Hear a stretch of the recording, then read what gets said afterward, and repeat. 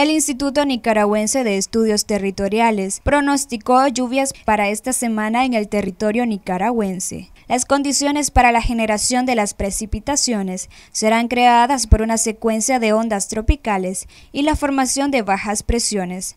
Asimismo, el Observatorio de Fenómenos Naturales dijo que se mantendrán las lluvias principalmente en la zona del Pacífico, coincidiendo así con los pronósticos brindados por INATER. La onda tropical que está en el Caribe central hacia el Caribe de Centroamérica, pero tenemos aquí un sistema de baja presión que viene circulando con esta corriente del mozón que nos estará generando bastante lluvia a partir del día 25 hasta el final del mes. De ondas tropicales del Atlántico hacia la zona de las Antillas Menores estarán afectándonos posteriormente. Para el día 25 está la onda tropical 23 localizada más adelante de México. Tenemos la onda tropical número 24 pasando este día miércoles sobre el territorio nacional con afectaciones de la zona de baja presión que tenemos localizada en la zona del sureste con las corrientes del monzón que siguen circulando hacia el Pacífico, lo cual estarán generándonos por parte del giro centroamericano ingresos de nubosidades del Pacífico como también en la parte del Caribe por la onda tropical 24 que estará generando las condiciones de lluvia bastante fuertes en muchas áreas del territorio de,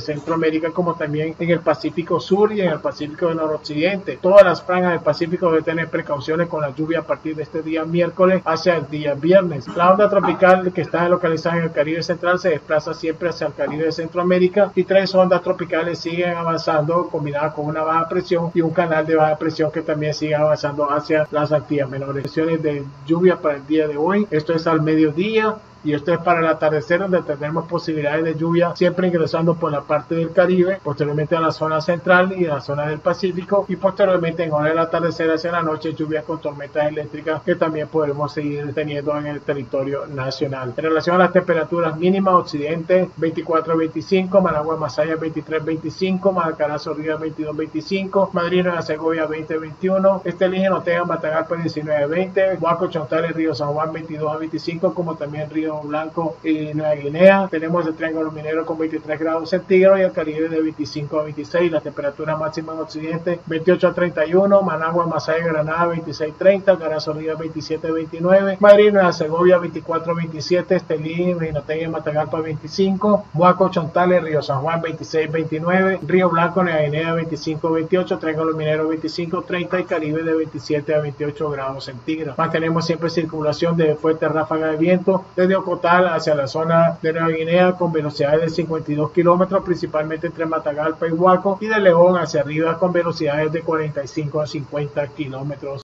Luisa Centeno, Noticias 12.